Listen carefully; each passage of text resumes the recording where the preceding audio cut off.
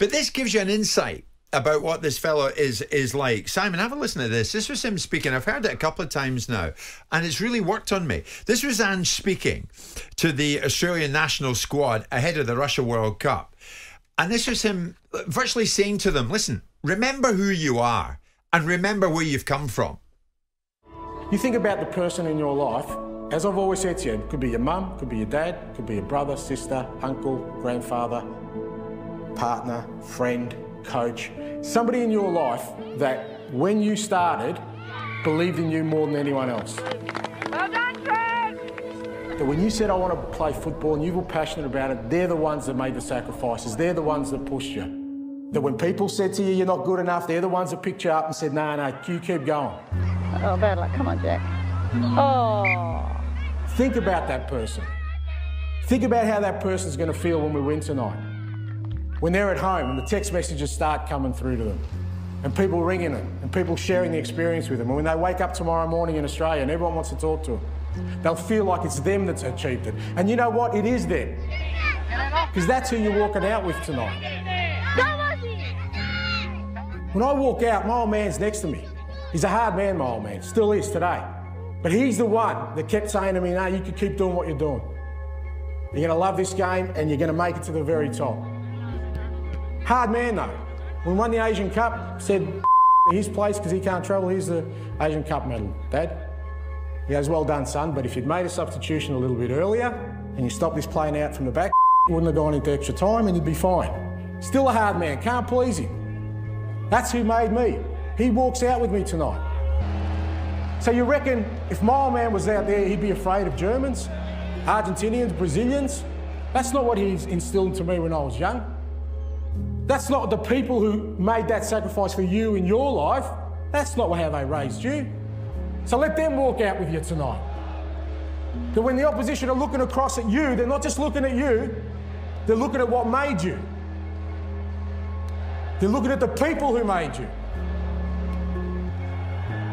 You wouldn't be sitting here today unless there was a person in your life who just gave you the most enormous love and belief that, you know what, I don't give a what happens to me, what people say about me, what challenges I have, I'm going to make it. All right, enjoy your lunch. Enjoy your lunch. I, I like that. I heard it with the without the expletives uh, Yeah, bleeped out. Australia nil, Peru two. So what? But it's it's it's what he was saying to them. I Yeah. think. I mean, you are ready to run out for Brisbane Roar. You're ready to run out for Melbourne Victory after you hear that. Two two of his former clubs, and he managed the Australian national team, and he managed Yokohama Marinos as well, and then hmm. goes on to Celtic. I mean, let's see what he's going to do here, Simon. Let, yeah, I can just imagine Richarlison responding to all that. Look, I'm, I've never been one. To Why not? Because I've never been one to those take them out of context. I can get Michael Sheen to trot that out, like he did when he was giving a speech to the Welsh rugby team. Look, the bottom line is is about how you manage players, not in individual moments. It's about how you manage them over a period of time, how you connect with them individually, how you connect with players of highfalutin levels, not Australian footballers that are playing for a a, you know a second-rate international side that aren't going to compete at the highest level. Great they get to World Cups, they're not going to win World Cups. Great that you can get Celtic to play in a certain way. You're moving into the Premier League now. You're moving into multi-millionaire territory where they're all individuals in their own right, all have their own opinions, and that sort of stuff is great. I like it, I understand it, but I think it has limited benefit. I think those are moments that we will go, oh look at that, what a Churchillian speech that is. Yeah, but come on, Neil Warnock, you would do things like that, and you'd be applauding him for it. That's why we've got But- Warnock but, here. But Neil Warnock never did. Never did. No, because No? no. no, he went down to individual level and spoke to individual players like Victor Moses, talking to them about on an individual level. He spoke to people like Shaun Derry on an individual level. He didn't give one of these Churchillian speeches across a dressing room saying, "Look at me, cometh the hour, cometh the man." I think there's a place for it. Hmm. If we're going to suggest that that's what's going to get Tottenham Hotspur to win leagues, I think we're a little bit naive. But I also think there's a place for it. There's a moment for it. And we know, and having been around professional footballers and know what they're like, the moment you misspeak, the moment they don't buy into something, it will make no difference how how many different versions of the uh, of the Anzacs you can create in your mind about listen. what they did in the First and Second World War. When Arteta spoke to the Arsenal squad about Aubameyang, they listened. They And- damn well listened. And, and what did they do? And what did they do when their moments came?